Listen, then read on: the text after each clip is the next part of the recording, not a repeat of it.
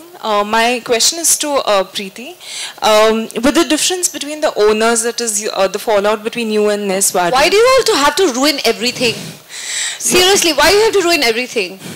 No, I just wanted to ask uh, how how do you plan to keep the team motivated without getting affected by it? That's I think what's happened off the ground has nothing to do with this. This is what happens on the ground is the game.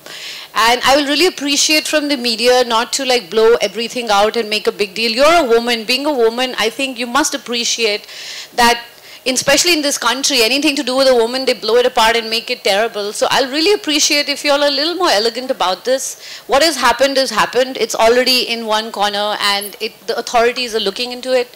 So please, please, I don't ask you about your things just because you're on that side asking these questions. I'll really appreciate it if you handle it with a little bit more dignity and do not keep throwing these questions at me, please. Thank you. thank you.